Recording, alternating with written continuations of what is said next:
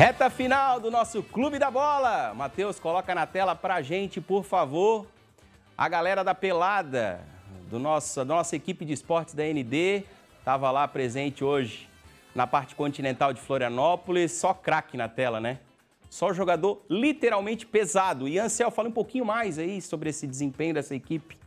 Ah, a partida só de, de alto nível, né? É, o, o, o, Alisson, a galera foi bater uma bola hoje de manhã, o jogo acabou acho que 9 a 7 não sei, acabei perdendo as contas. O melhor é que o nosso time saiu ganhando de 5 a 1 mas tinha altitude.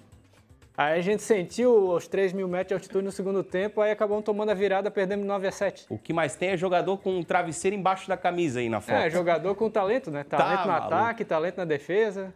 Ô, Jean, hora do abraço, teu alô pra galera aí, reta final do nosso programa.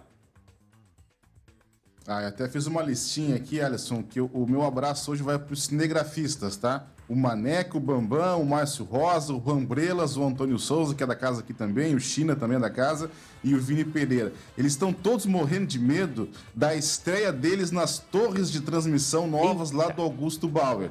Começa nessa segunda-feira. É, Brusque e Tuan estão todos morrendo de medo. Eu já falei, eu não subo, mas eles vão subir nessa segunda-feira. Grande abraço a todos eles, a vocês.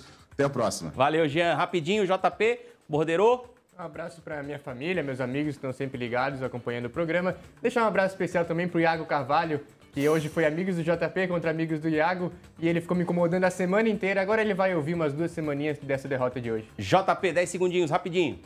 Vou mandar um abraço para minha família, para meu pai, para minha mãe, para minha esposa, para minha sogra e para a galera da Pelada também, que organizaram um grande jogo hoje pela manhã ali no bairro de Coqueiros. Parece programa da Xuxa. Bom sábado, ótimo feriado.